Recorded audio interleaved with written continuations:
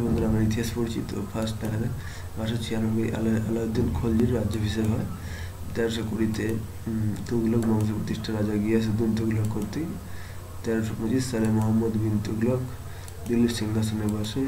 যেহেতু তার সাতাশে মোহাম্মদ বিন তুগলক রাজধানী রাজধানী দিল্লি থেকে দৌলতাবাদে স্থানান্তরিত করেন। ওকে? তেরোশো তেত্রিশ থেকে চৌত্রিশ আফ্রিকার মরক্কো পর্যটক ইবন বধু তার ভারতে আক্রমণ ওকে?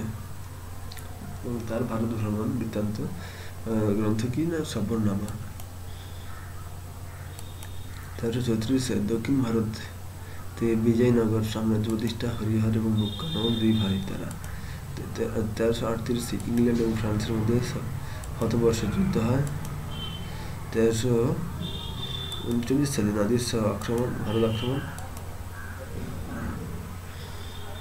আচ্ছা তখন দিল্লির সিংহাসনে ছিলেন মোহাম্মদ শাহ। তেরোশো বিয়াল্লিশ সালে স্বাধীন বাংলার স্বাধীন সুলতানি পতন হয়।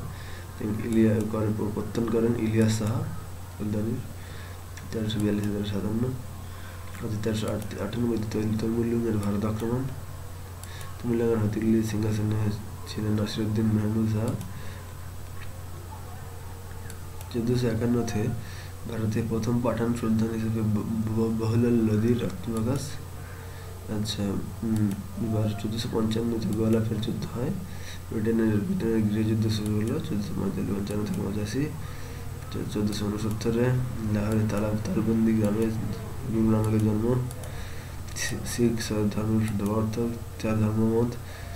নন্দস্বামী বইতে লিপিবদ্ধ আছে। চোদ্দশো ছিয়াশিতে চৈতন্য মহাপ্রভুর জন্ম। বাংলা সুলতান ছিলেন হোসেন শাহ ওকে